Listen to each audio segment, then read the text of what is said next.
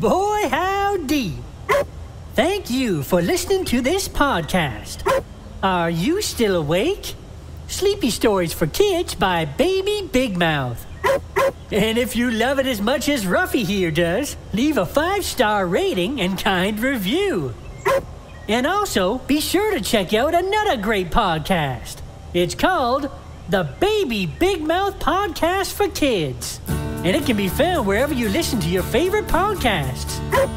It's a super fun, uplifting podcast like you've never heard before.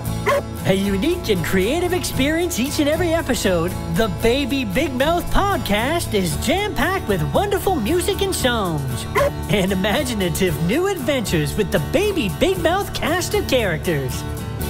So that's it. It's called the Baby Big Mouth Podcast. Hope you check it out. Thanks for listening. And now, on with the show. Are you still awake? Surprise! This is a Baby Big Mouth Storytime production. Part of the Baby Big Mouth Podcast Network. Are you still awake? Uh oh. I think you were supposed to be asleep long ago. Well, if you're still not tired, I have a story I can read for you. I'll go get the book.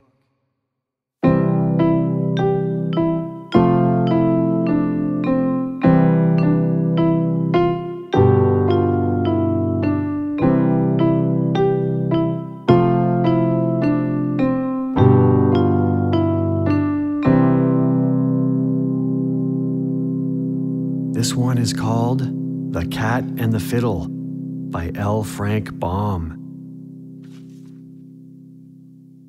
Hey diddle diddle, the cat and the fiddle, the cow jumped over the moon. The little dog laughed to see such sport, and the dish ran away with the spoon. Perhaps you think this verse is all nonsense, and that the things it mentions could never have happened. But they did happen, as you will understand when I explain them all to you clearly. Little Bobby was the only son of a small farmer who lived out of town upon a country road. Bobby's mother looked after the house, and Bobby's father took care of the farm. And Bobby himself, who was not very big, helped them both as much as he was able. It was lonely upon the farm, especially when his father and mother were both busy at work. But the boy had one way to amuse himself that served to pass many an hour when he would not otherwise have known what to do. He was very fond of music, and his father one day brought him from the town a small fiddle or violin, which he soon learned to play upon. I don't suppose he was a very fine musician, but the tunes he played pleased himself, as well as his father and mother, and Bobby's fiddle soon became his constant companion.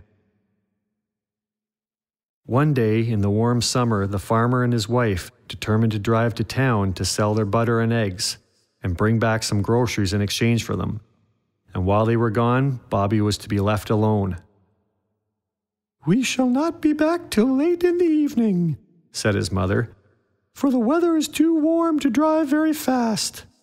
But I have left you a dish of bread and milk for your supper, and you must be a good boy and amuse yourself with your fiddle until we return. Bobby promised to be good and look after the house, and then his father and mother climbed into the wagon and drove away to the town. The boy was not entirely alone, for there was the big black tabby cat lying upon the floor in the kitchen, and the little yellow dog barking at the wagon as it drove away, and the big mooly cow lowing in the pasture down by the brook. Animals are often very good company, and Bobby did not feel nearly as lonely as he would had there been no living thing about the house. Besides, he had some work to do in the garden, pulling up the weeds that grew thick in the carrot bed. And when the last faint sounds of the wheels had died away, he went into the garden and began his task. The little dog went too, for dogs love to be with people and to watch what is going on. And he sat down near Bobby and cocked up his ears and wagged his tail and seemed to take great interest in the weeding. Once in a while, he would rush away to chase a butterfly or bark at a beetle that crawled through the garden, but he always came back to the boy and kept near his side. By and by, the cat, which found it lonely in the big empty kitchen now that Bobby's mother was gone, came walking into the garden also, and lay down upon a path in the sunshine and lazily watched the boy at his work. The dog and the cat were good friends, having lived together so long that they did not care to fight each other. To be sure, Towser, as the dog was called, sometimes tried to tease Kitty, being himself very mischievous. But when the cat put out her sharp claws and showed her teeth, Towser, like a wise little dog, quickly ran away, and so they managed to get along in a friendly manner.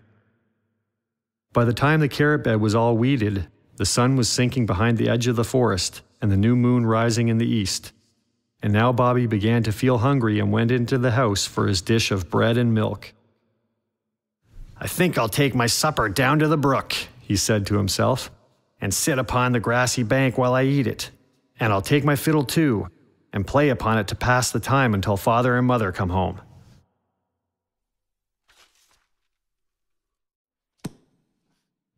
Okay, I think we'll leave it there for tonight.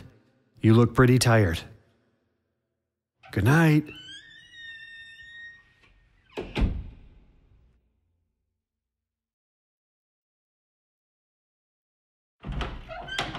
Hey, what's all that noise? Did I just hear you jumping up and down on the bed? Are you still not tired? All right, let's finish this story then. That's gotta make you sleepy. Okay, here we go. So we left it off with the little boy heading down to the brook to have his supper. And I think he's going to play a little bit of music too. Okay, here we go. It was a good idea, for down by the brook it was cool and pleasant. So Bobby took his fiddle under his arm and carried his dish of bread and milk down to the bank that sloped to the edge of the brook. It was rather a steep bank, but Bobby sat upon the edge, and placing his fiddle beside him, leaned against a tree and began to eat his supper. The little dog had followed at his heels, and the cat also came slowly walking after him. And as Bobby ate, they sat one on either side of him and looked earnestly into his face as if they too were hungry. So he threw some of the bread to Towser, who grabbed it eagerly and swallowed it in the twinkling of an eye. And Bobby left some of the milk in the dish for the cat, and she came lazily up and drank it in a dainty, sober fashion, and licked both the dish and the spoon until no drop of the milk was left. Then Bobby picked up his fiddle and tuned it and began to play some of the pretty tunes he knew.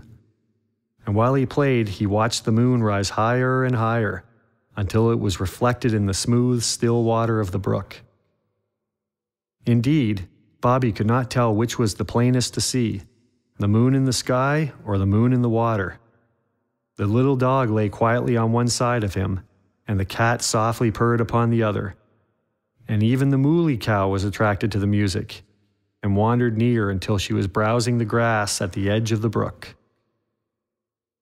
After a time, when Bobby had played all the tunes he knew, he laid the fiddle down beside him, near to where the cat slept, and he lay down upon the bank and began to think.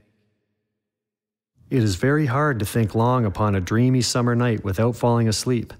And very soon Bobby's eyes closed and he forgot all about the dog and the cat and the cow and the fiddle, and dreamed he was Jack the Giant Killer and was just about to slay the biggest giant in the world. And while he dreamed, the cat sat up and yawned and stretched herself, and then began wagging her long tail from side to side and watching the moon that was reflected in the water. But the fiddle lay just beside her, and as she moved her tail, she drew it between the strings of the fiddle where it caught fast. Uh oh, that doesn't sound good. Then she gave her tail a jerk and pulled the fiddle against the tree, which made a loud noise. This frightened the cat greatly, and not knowing what was the matter with her tail, she started to run as fast as she could. But still the fiddle clung to her tail, and at every step it bounded along and made such a noise that she screamed with terror. And in her fright, she ran straight towards the cow, which, seeing a black streak coming at her and hearing the racket made by the fiddle, became also frightened and made such a jump to get out of the way that she jumped right across the brook, leaping over the very spot where the moon shone in the water. Bobby had been awakened by the noise and opened his eyes in time to see the cow jump. And at first it seemed to him that she had actually jumped over the moon in the sky instead of the one in the brook. The dog was delighted at the sudden excitement caused by the cat and ran barking and dancing along the bank, so that he presently knocked against the dish. And behold, it slid down the bank, carrying the spoon with it, and fell with a splash into the water of the brook.